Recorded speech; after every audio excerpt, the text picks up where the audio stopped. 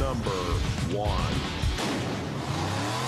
And finally, take a look at this, man. In the mud, Lakeland, Florida. Hold on. It's a long ways down. It's a fire drill competition, and I got to tell you, he's not going to win it doing that.